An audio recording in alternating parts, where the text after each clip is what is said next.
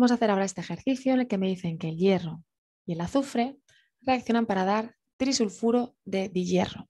Se quiere saber en el apartado A que escribamos y ajustemos la reacción por una parte e indiquemos de qué tipo de reacción se trata. Bien, vamos a escribir la reacción.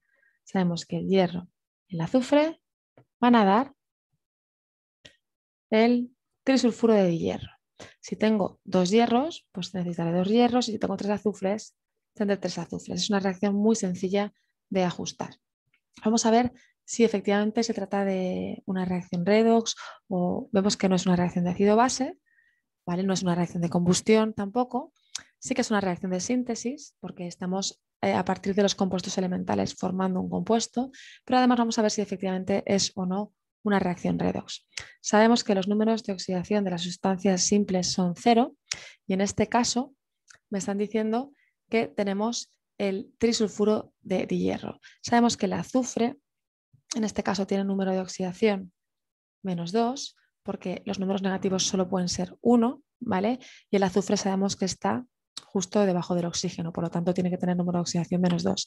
Y el hierro, en este caso, como tenemos tres azufres, está siendo más 3. Vemos que efectivamente hay cambios porque el hierro pasa de 0 a más 3, está aumentando su número de oxidación, se trata de una reacción de oxidación y el azufre pasa de 0 a menos 2, es decir, disminuye el número de oxidación, se trata de una reducción. También lo podéis explicar como que el, el azufre está ganando electrones en este caso concreto por átomo de azufre 2, y que el hierro por átomo de hierro está perdiendo. Este, en este caso ha perdido 3 electrones. ¿vale? Bien, y además, como decíamos, también es una reacción de síntesis. Una vez dicho esto, vamos a hacer el siguiente apartado, donde nos dicen lo siguiente. Queremos obtener un kilo de trisulfuro de hierro. Vale, vamos a poner aquí, queremos obtener un kilo. ¿Cuántos gramos de hierro necesitamos? Vale, pues para esto necesitamos saber los moles que tenemos. Y para saber los moles tenemos que calcular la masa molecular del producto. Nos dan la masa del hierro, que son 55,7, lo multiplicamos por 2 porque tenemos dos átomos, más la del azufre, que son 32, que multiplicamos por 3. Vamos a ver cuánto es esto. Lo podéis hacer la calculadora conmigo.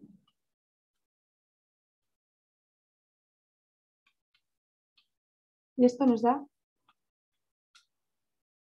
un total de 207,4 gramos mol.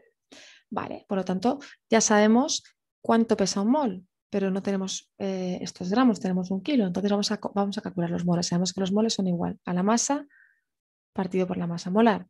Tenemos un kilo que son mil gramos que dividimos por 207,4 gramos mol. Los gramos y los gramos se van y el resultado me va a quedar en, moles. Es decir, si mil lo dividimos por la masa molecular, tengo un total de 4,822 moles. He redondeado la última cifra porque luego teníamos una cifra mayor que 5. ¿Vale?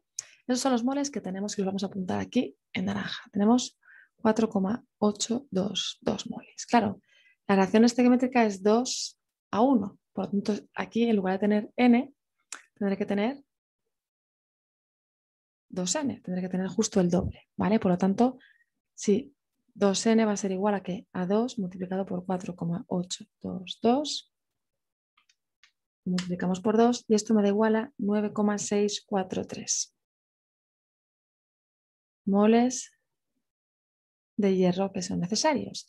Y ahora lo vamos a convertir en gramos. Para convertirlo en gramos, y la masa, que estos son los gramos, tengo que pasar la MR multiplicando n por la MR, es decir, los 9,643 multiplicado por un mol de hierro. La masa molecular del hierro es lo que pesa solo un átomo de hierro, ¿vale?